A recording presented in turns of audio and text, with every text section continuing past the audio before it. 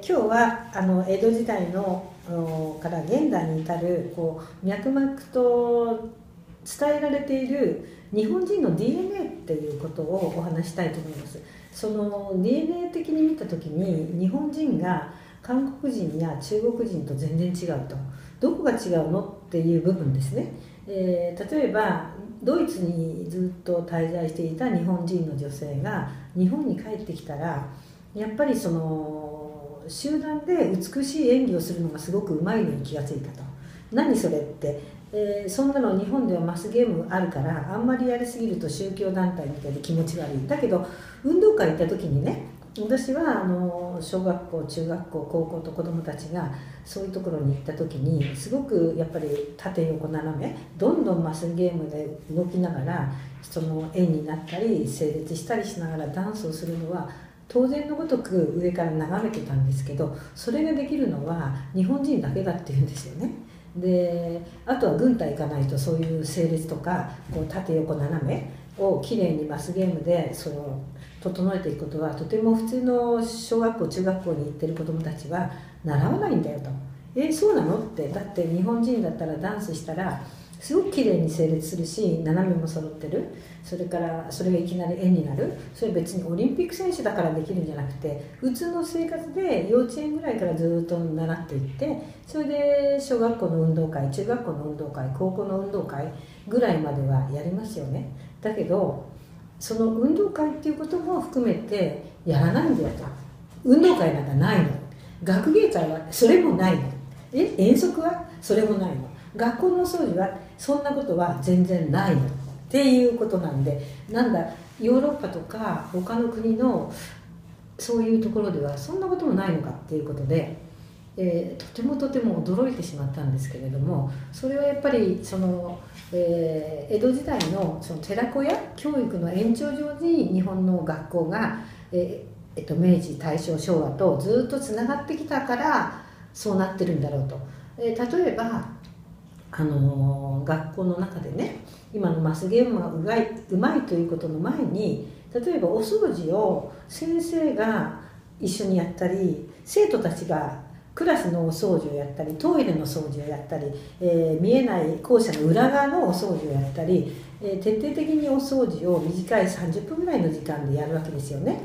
でこれは小学校時代からずっとお掃除の習慣がついてるのでだからお掃除をするということやゴミをきれいに片付けるということはこう遺伝子的に入っちゃうんですけれどもそれはやっぱり江戸時代の寺子屋でも、えー、それから武士道で例えば、えー、寒稽古というふうなね剣道の訓練行く時も最初にやるのはどこでも道場のお掃除なんですよねお掃除をして終わってからもまたお掃除をしてビフォーアフターでお掃除をしてそこの上で、えー、剣術を学ぶと。でヨーロッパアメリカなどではそういう道場を使うとしても掃除をする人は掃除人なんですね。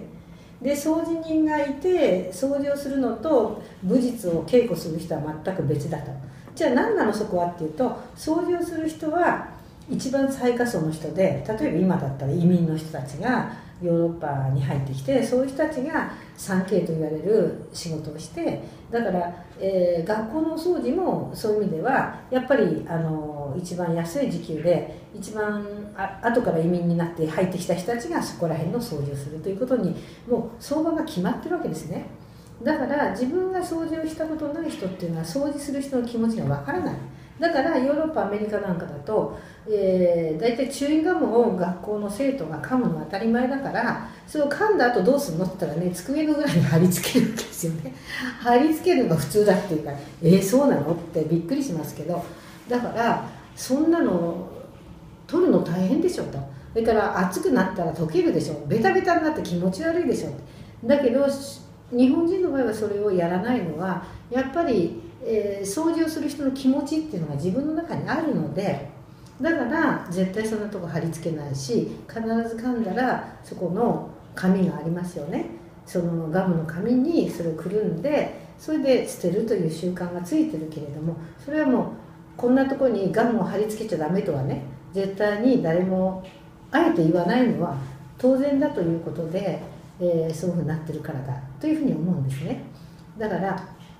知らない間に身についてるものは実はやっぱり遺伝子的に見たらもう江戸の文化の寺子屋の中でもお掃除はあの子どもたちのお仕事で終わったら「先生ありがとうございました」って言って挨拶をして、え、三つ指をついて挨拶をする。これはもう当たり前のことで、えー、先生と生徒っていうのは一生涯のその師弟の関係になるというのはもう決まってることでだからあのそのことはとても今でもねあのどういうふうにつながってるかっていうと小学校の同窓会をやりますよね。そうすると先生が来るわけですよ。よたやたした8090の先生がいて65か70の生徒がいてどっちが先生かもう70の先生と95の、まあ、教えられた子供が70で教えた先生が95だったらみんな年寄りで誰が誰だか分かんない。でもその時の気持ちになって同窓会を開くと子どもたちはそのまあ、50年60年70年前の子供に戻って「先生先生」っていうわけですね。それで先生の方よしよしっていう感じで「何々ちゃん」と「何々くん」とか言って70歳の人たちにくん付けちゃん付けで呼ぶと。こういうふうな世界もまたないそうなんですね。同窓会やってもそれは学校の同窓会なんてやるわけないでしょと。だから大抵は地域の中でこうねとかサークルでとかその後の職場でとかいろんな集まりはあるけれども個人的な付き合いの延長上でで大体化して夫婦で参加結婚したら夫婦で参加に決まってるから個人としてのそういう子供時代からの付き合いの延長でじゃあ行ってくるわねっていうのはない。そういうのが要するにカップル制度で成り立った欧米のある種まああの社会的な規則見えない